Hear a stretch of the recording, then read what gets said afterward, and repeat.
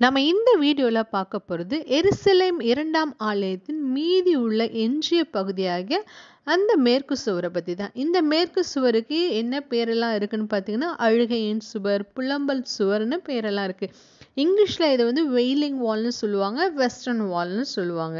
இது யூத மக்களோட மிக முக்கிய பரிசுத்த இடமாக இன்றளவும் விளங்கி கொண்டு இருக்கிறது இது எந்த இடத்துல இருக்குன்னு பார்த்தீங்கன்னா பழைய எருசலேம் நகரத்தில் இருக்குது இந்த சுவர் எவ்வளவு காலமாக அங்கே இருக்குன்னு பார்த்தீங்கன்னா இரண்டாயிரம் ஆண்டுகளாக இருக்குது ஏன்னா ரெண்டாம் தேவாலயம் இடிக்கப்பட்டு அதுக்கப்புறம் கிட்டத்தட்ட ரெண்டாயிரம் வருஷமாக இன்னமும் அந்த சுவர் வந்து அந்த இடத்துல இருக்குது இங்கே வெறும் யூதர்கள் மட்டும்தான் வருவாங்களான்னா இல்லை. கிறிஸ்துவர்களும் இந்த இடத்துல வந்து ஜபங்களை வந்து ஏறெடுப்பாங்க.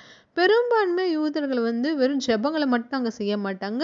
கடிதங்களில் அவங்களோட விண்ணப்பங்கள்லாம் எழுதி அந்த சுவர் இடையில் இருக்கிற அந்த இடங்கள்ல எல்லாம் கேப் இருக்கும்ல சுவரில் அந்த கல்லுகளுக்கு மத்தியில் வந்து என்ன பண்ணுவாங்கன்னா அந்த பேப்பரை வந்து சொருகி சொருகி வைப்பாங்க. ஸோ அவங்களுக்கு ஒரு விசுவாசம் அந்த இடத்துல அந்த ஆண்டவர் வந்து என்ன பண்றாருன்னா அந்த ஜெபங்களை கேட்டு அதுக்கு பதில் தருவான் இந்த இடங்களில் வந்து இந்த யூதர்கள் வந்து எப்படி ஜெபிப்பாங்க அப்படின்னு பார்த்தீங்கன்னா தன் தலையால் அந்த சுவரில் முட்டி முட்டியும் அழுதும் மண்டியிட்டும் அப்புறம் நிறைய பேர் வந்து அந்த இடத்துல உட்கார்ந்து தியானித்தும் ஆண்டவருடைய வசனங்களை சொல்லியும் திரும்பவுமாக இந்த எருசலேம் ஆலயம் எடுப்பு இது கட்டப்படணும்னு அவங்க அழுது அழுது அந்த இடங்களில் வந்து ஜெபிப்பாங்க. இந்த ஆலயம் கிறிஸ்துவுக்கு பின்பு எழுபதாம் ஆண்டு அழிக்கப்பட்ட பின்பு மிச்சம் மீதியாக இருந்த இந்த ஒரே ஒரு சின்ன பகுதி எதுன்னு பார்த்தீங்கன்னா இந்த மேற்கு சுவர் தான் இப்போ நம்ம பார்க்குற மாதிரி இந்த மேற்கு சுவர் வந்து பெரிய இடமா இல்லாமல் அவங்க நூற்றுக்கணக்கான ஆண்டுகள் அதாவது அந்த ஆழம் இடிக்கப்பட்ட ஆண்டுலேருந்து நூற்றுக்கணக்கான ஆண்டுகளாக ஒரு சின்ன பகுதி மட்டும்தான் தெரிஞ்சது. அந்த சின்ன பகுதியில் தான் வந்து ஜபங்களை ஏறெடுத்து வந்தாங்க. ஆனால் இஸ்ரேல் வந்து மறுபடியும் உருவாக்கப்பட்ட பின்பு ஆயிரத்தி தொள்ளாயிரத்தி நாற்பத்தி எட்டாம் ஆண்டு இஸ்ரேல் தேசம் உருவானது. அதைத் தொடர்ந்து ஆயிரத்தி தொள்ளாயிரத்தி அறுபத்தி ஏழாம் ஆண்டு ஆறு நாள் யுத்தம் நடந்தது. ஸோ இந்த யுத்தம் வந்து சரித்திர முக்கியத்துவம் வாய்ந்த யுத்தம். இந்த யுத்தத்தின் விளைவாக தங்கள் பழைய நகராக எருசலேமை மீண்டுமாக கைப்பற்றினர். ஸோ இந்த எருசலேம் நகரத்தில் தான் இந்த மேற்கு சுவர் வந்து அமைஞ்சிருக்கு. இந்த பழைய எருசலேம் நகரை வந்து அதுக்கப்புறம் என்ன பண்ணாங்கன்னு பார்த்தீங்கன்னா கீழே அந்த சுவருக்கு கீழே வந்து தோண்டிக்கிட்டே போனாங்க. தோண்டும் பொழுது கீழே இருக்க ரெண்டு அடுக்கும் வெளியே வந்தது அது மட்டும் இல்லை சைடில் இருக்க இடங்களெல்லாம் அப்புறப்படுத்தி அப்புறப்படுத்தி இப்போ நம்ம வந்து இந்த வீடியோங்களெல்லாம் பார்க்குறோம்ல இந்த வெஸ்டர்ன் வால் எவ்வளோ லாங் இருக்குல்ல அந்த லாங் ஃபுல்லாக வந்து கிளியர் பண்ணி ஜபங்கள் ஏறெடுக்கிறதுக்கு ஏற்ற மாதிரியாக அந்த இடத்தை மாற்றினார்.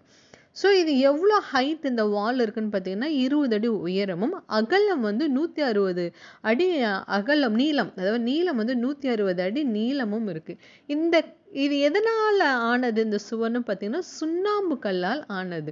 ஸோ இதை கட்டினவர் யாருன்னு பார்த்தீங்கன்னா எருசலேம் ஆலயம் எப்போ கட்டப்பட்டது? எருசலேமில் மொத்தம் ரெண்டு ஆலயம் கட்டினாங்க. முதல் ஆலயம் சாலமுனின் ஆலயம். அது வந்து கிமு பத்தாம் நூற்றாண்டு கட்டப்பட்டது. இது வந்து பாபிலோனியர்கள் வந்து கிமு ஐநூற்றி எண்பத்தி ஆறாம் ஆண்டு இந்த ஆலயத்தை வந்து இடித்து தள்ளினர். அதன் பிற்பாடு இரண்டாம் ஆலயம் வந்து கிமு ஐநூற்றி பதினாறாம் ஆண்டு வந்து கட்டப்பட்டு பிரதிஷ்டை பண்ணப்பட்டது.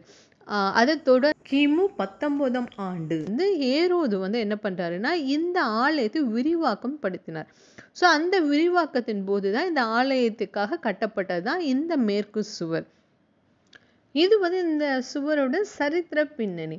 ஸோ இந்த ஆலயம் இடிக்கப்பட்டு யூதர்கள் அங்கேருந்து சிதறி போன பிறகு கொஞ்ச காலம் மாத்திரம்தான் அந்த யூதர்கள் அந்த சுவரில் வந்து ஜெபம் பண்ண அனுமதிக்கப்பட்டாங்க. அதற்கு பிற்பாடு ஆயிரத்தி நூற்றி முப்பத்தைந்து கிபி வரைக்கும் வந்து இந்த இந்த இடத்துல எந்த யூதருக்கும் வழிபட அனுமதிக்கவே படவில்லை.